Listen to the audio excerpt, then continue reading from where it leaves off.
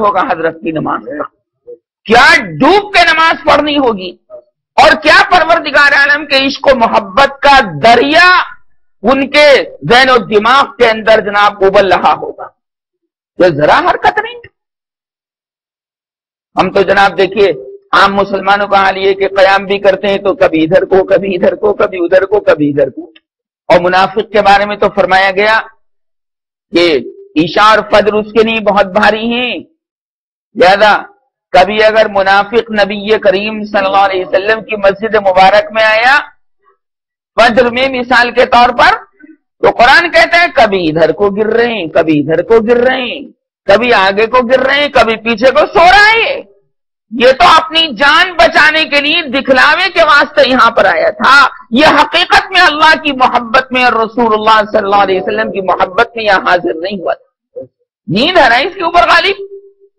उसने कहा, यार, जब मुझे थकन होती, जी तो एक पैर पर खड़ा हो जाता हूँ, एक पैर ढीला छोड़ देता हूँ, और बराबर वाला जो मुख्तदी है, उसके ऊपर मैं ज़ोर देता हूँ, ऐसे कंधे से. इमाम साहब लंबी करात करते हैं, फजर में लंबी करात होती है। मैं कहा, यार, मैं तो बराबर वाले नमाजी के ऊपर सहारा लगा लेता हूँ। अच्छा जब ये पैर दुख जाते हैं, ये पैर तो इसको खड़ा कर लेता हूँ, और फिर बाई तरफ़ के मुख्तदी के ऊपर लगा लेता हूँ। अरे हमने कहा कि अल्लाह तबारक वाली ने दो पैर बनाए, दोनों पैरों पर सहारा लगाकर खड़े हो जाओ और अल्लाह तबारक वाली की मोहब्बत में डूब कर, उसकी वहदानियत में डूब कर नमाज़ की अदायगी करो। ये नमाज़ की अदायगी इस तरह डूब कर जो पढ़ोगे, एकदम अरश इलाही को हिला देती है। और अल्लाह बड़े प्यार की नज़र से देखता है। उसने कहा, यार, दूसरा सवाल। पर मैं अच्छा बोल भाई, दूसरा सवाल भी बोल। दूसरा सवाल भी बोल। दूसरा सवाल उसने किया हमारे इमाम साहब से। शाहिद इमाम मुराद नहीं हज़रत इमाम अबू हनीफा। कहा कि मुझे बताओ, अल्लाह इस वक्त क्या कर रहा है? अल्लाह? अबे भाई, क्या यार वाकई? घुमाने वाली बातें। अल्लाह इस वक्त क्या कर रहा है, मुझे बताएँ। तो अल्लाह ताला ने हज़रत के जहन में तरकीब डाली। अब किसी को क्या पता अल्लाह इस वक्त क्या कर रहा है? वे बड़े से बड़े इमाम को पता नहीं, नबी को पता नहीं, रसूल को पता नहीं। अल्लाह के पास तो लाखों करोड़ों काम है भाई। कुरान में सूर रहमान के दूसरे रुकों में अल्लाह ने फरमाया, कुल्ला यमिन हुआ फ़ी शान रब्बिकुमा हर वक्त अल्लाह किसी ना किसी काम में मशगूल रहता है। वो एक वक्त में किसान की मुराद भी पूरी कर रहा है और एक वक्त में खेती में खेती उगाने वाले की ज़रूरत भी पूरी कर रहा है। और उसी वक्त में अल्लाह तबारक वाली कारपेंटर, नज्जार और बढ़ई की हाजत भी पूरी कर रहा है। और उसी वक्त में प्यासे के पानी के लिए भी इंतज़ाम कर रहा है। हर वक्त, हर लम्हा, हर सेकंड, हर मिनट, हर दकीका, हर लहजा परवरदिगार आलम की नई शान, नई आन, नई बान होती है। ये मैं नहीं कर रहा। कौन कह रहा है? कुरान कह रहा है सूर्य रहमान का दूसरा रुकू। कुल्ल हुआ फ़ी शान फबिकुमा तुकजीबान तो हज़रत ने फरमाया, इस सवाल का जवाब देता हूँ। मैं बताता हूँ कि अल्लाह इस वक्त क्या कर रहा है। लेकिन भाई, एक शर्त है, तवज्जो। ये अब तक जो गुफ्तगु हुई, ज़मीन पर खड़े होकर हुई, ये पहले सवाल का जो जवाब हज़रत ने दिया तो वो दहरिया भी ज़मीन पर खड़ा था और हज़रत भी ज़मीन पर खड़े थे। फरमाया कि भाई, ऐसा देखो, सुनो। मैं इस सवाल का जवाब जब दूँगा, जब मिंबर या कुर्सी लेकर आओ मिंबर या? लोगों ने कहा कि भाई, मिंबर है। पर मैं जल्दी लाओ अब मिंबर में कम से कम तीन सीढ़ियाँ होती हैं। कितनी? नबी करीम सल्लल्लाहु अलैहि वसल्लम का मिंबर शरीफ भी तीन सीढ़ियों का था। कितने? हाँ। ये मिंबर तो बहुत बाद में आया। वरना पहले तो हुजूर अकरम सल्लल्लाहु खजूर के दरख्त के ऊपर टेक लगाकर खुतबा देते थे। ये मिंबर नहीं था पहले। तवज्जो चाहूँगा। एक अंसारी बुढ़िया ने, यानी मदीने मुनवरा के जो अंसार थे, अंसार मदीना जिनकी तारीफ़ कुरान पाक में आई। उसने कहा कि यार रसूल अल्लाह मेरी तबीयत चाहती है कि मैं आपके लिए एक मिंबर बनवा दू लकड़ी का। आपने फरमाया, बनवा दे। उसका गुलाम जो था, वो कारपेंटर था। उसने अपने गुलाम से कहा कि, मैं एक मिंबर बनाऊ लकड़ी का। किसके लिए? कि सरदार दो जहाँ नबी करीम सल्लल्लाहु अलैहि वसल्लम के लिए। मुझे सवाब मिलेगा। सरकार मदीना सल्लल्लाहु अलैहि वसल्लम के मुबारक कदम उस पर जाएँगे, आप उस पर खड़े होंगे, आप उस पर बैठेंगे भी। मैं फख्र करूँगी कयामत के मैदान में कि मेरे बनाए हुए मिंबर के ऊपर सरकार बैठे थे। सरकार खड़े हुए थे। सरकार बढ़िया तो वो चीज़ भी बढ़िया हो जाती जिस पर सरकार का हाथ लग जाए। या सरकार के कदम लग जाएँ या सरकार के पैर लग जाएँ या सरकार उसके ऊपर मोहब्बत भरी निगाह डाल यह हमारा आपका अकीदा है, अहले सुन्नत वल जमात का। चुनाचे, अब वो मिंबर आ गया। लकड़ी का मिंबर था, उस गुलाम ने वो मिंबर बना दिया। अब नबी करीम सल्लल्लाहु अलैहि वसल्लम मस्जिद नबवी के अंदर एक खजूर के दरख्त का तना था, उस पर ऐसे सहारा करके खुतबा देते थे। बड़ा था कि खड़े होते वक्त हाथ जो है उसके ऊपर आ जाए। मिंबर पर आप तशीफ ले गए खुतबा देने के लिए। अल्लाह मसीह नबवी के अंदर तो रोने की आवाज़ आने लगी। वो जो खजूर का दरख्त था, जिसकी लकड़ी बाकी थी उसके अंदर से रोने और चिल्लाने की आवाज़ें आने लगी। साहबा फरमाते हैं कि पूरी मस्जिद नबवी के लोगों ने उस खजूर के दरख्त के रोने की आवाज़ सुनी, साफ़ सुना।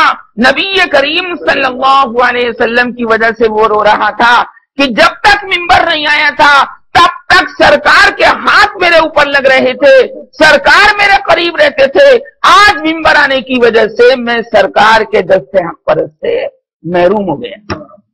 रोता था। सरकार का मौजूदा था। यार, इंसान की आँख से अगर आँसू निकल जाएँ तो कोई कमाल की बात नहीं। इंसान का दिल रो पड़े कोई कमाल की बात नहीं। रोना उसकी एक सिफत है, जैसे हंसना उसकी एक सिफत है। लेकिन लकड़ी के अंदर से रोने की आवाज़ आ जाए, कमाल है कि नहीं? अल्लाह वो करके दिखा देता है जो कोई न कर सके। मालूम यह हुआ यार, मालूम यह हुआ, सुनो। अल्लाह के रसूल के आशिकों सुनो। मालूम यह हुआ कि खजूर का वो बेजान दरख्त भी, जबकि उसकी टहनियाँ वगैरह नहीं थी, बस लकड़ी थी। उसको भी हुजूर की पहचान थी। क्यों भाई ठीक है नहीं? बुखारी उठाकर देखो, उसमें यह वाकया आपको मिल जाएगा। मुस्लिम शरीफ उठाकर देखो, उसमें यह वाकया मिल जाएगा। सीरत नबी उठा के देखो, ये वाकया आपको मिल जाएगा। तमाम तारीख इस्लाम की किताबें उठाकर देखो, ये वाकया तवातुर के साथ मिल जाएगा। अब साहबा फरमाते हैं कि हम तो हैरान थे। और ये इस इंतज़ार में थे कि देखिए चुपता है या नहीं चुपता? ये तो रोए चला जा रहा है। लकड़ी में से रोने की आवाज़ें और लकड़ी के ऊपर पानी की बूंदे, वो पानी की बूंदे कहाँ से आ गई? वो उसके आँसू थे। उसको सरकार की जुदाई भी इतनी बर्दाश्त नहीं हुई। कि यहाँ, ये मेरी सौतन कहाँ से आ गई मिंबर? ये तो मेरे लिए सबसे बड़े हैं आदिम उशान फ़कीम उशान जलील उशान जिनका मरतबा अल्लाह के बाद बरह रास्त है बादत खुदा, बुज़ुर्ग तो किस्सा मुख्तसर। जिसको मौलाना जामी रहमान ने फरमाए तू ही जान आलम ए रसूल, तू ही सारी कायनात की जान है। तेरी वजह से दुनिया में आम पैदा किया गया। तेरी वजह से दुनिया के अंदर नाशपाती पैदा की गई। और ये गुलाब के फूल के अंदर जो खुशबू है ए अल्लाह के रसूल, तेरे पसीने की खुशबू लोग समझते नहीं इधर उधर की बातें करते हैं अपने बयानात में। समझते नहीं कि अंदर उन्हीं हकीकत क्या है। चुनाचे रसूलुल्लाह सल्लल्लाहु अलैहि वसल्लम के हाथ से महरूम हो गया। रो पड़ा। सारे साहबा फरमाते ही हिचकिए मार रहा था और हम लोग सुन रहे थे।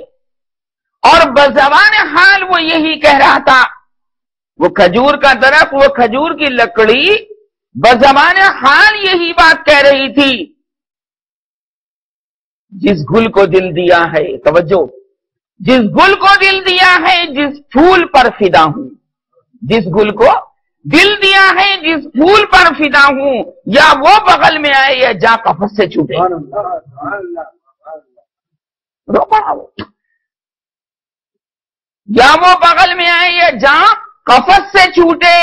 अगर मैं इस दुनिया के अंदर रहूँगा तो रसूलुल्लाह का हाथ मुझे चाहिए। सल्लल्लाहु अलैहि वसल्लम।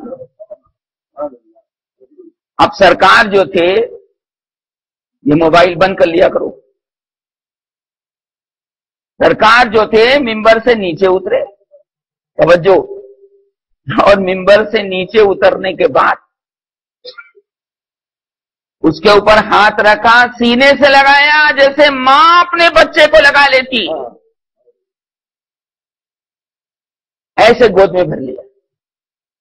जैसे ही सरकार का हाथ वहाँ पर पड़ा, उसका रोना बंद हो गया। उसका रोना अब करें तो क्या करें? फिर मिंबर पे चढ़ते ही फिर रोने लगेगा। करें तो क्या करें? उसने मुतालबा किया या रसूल अल्लाह जन्नत में भी मैं आपका साथ चाहता हूँ। ये मुझे अता फरमा दी तो मैं नहीं रोने का मैं हम्म मैं नहीं रोऊँगा। सरकार ने वायदा फरमा लिया। सरकार ने वायदा फरमा लिया, जब सरकार ने वायदा फरमा लिया तो समझ लो अल्लाह ने भी वायदा फरमा लिया। क्योंकि अल्लाह मुस्तफ़ा की बात को टालता नहीं। वो जन्नत में साथ होगा इंशाला कितनी मोहब्बत होगी उस खजूर के पेड़ को। या अल्लाह, हम तो कितने गए गुजरे हो गए कि नबी करीम सल्लल्लाहु अलैहि वसल्लम की उम्मत में परवरदिगार आलम ने हमको पैदा किया कुन तुम खैरा उम्मतिन उखरियत नास तामुरून बिल मारूफी व तनहौना अनिल मुनकर व तुमिनून बिल्ला हम तो सच बात बता दूँ, हम तो नबी करीम सल्लल्लाहु अलैहि वसल्लम को तवज्जो, बहुत कीमती बात कहने लगा हूँ। हुजूर पाक सल्लल्लाहु अलैहि वसल्लम की ज़िंदगी के अंदर कुफार, मुशरकिन मुखालिफिन इस्लाम आदाय इस्लाम आदाय कुरान, दुश्मनान इस्लाम, दुश्मनान ईमान, दुश्मनान कुरान, दुश्मनान सहाबा, दुश्मनान खुलाफाए राशिदीन, ये हुजूर अकरम सल्लल्लाहु अलैहि वसल्लम को सताते थे।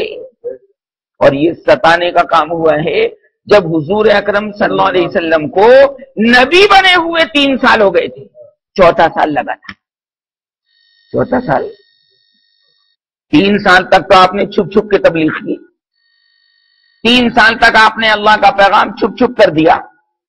अब जब चौथे साल खुल्लम खुल्ला नबी करीम सल्लल्लाहु अलैहि वसल्लम ने ऐलान फरमा दिया कि अल्लाह एक है, उसके सिवा कोई इबादत के काबिल नहीं।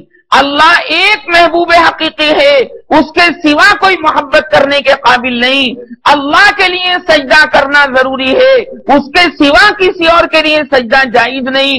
अल्लाह के सामने हाथ फैलाने हैं, उसके सिवा किसी और के सामने हाथ नहीं फैलाने हैं। जब ये ऐलान किया तो सारी पब्लिक जो थी, वो जनाब बफर गई और सारी पब्लिक मुखालिफ हो गई और संचार नबवी के अंदर हुजूर अकरम सल्लल्लाहु और आपके चाहने वाले सहाबा, आपके आशिक सहाबा के ऊपर मुसीबतों के पहाड़ टूटने लगे। क्यों भाई, तीन साल तक क्यों नहीं हुए? छुप छुप कर तबलीग होती। खुल्लम खुल्ला कुछ नहीं कहा। और जैसे ही ऐलान हक किया, और जैसे ही सदाए हक बुलंद की, रब्बना इन्नना समिअना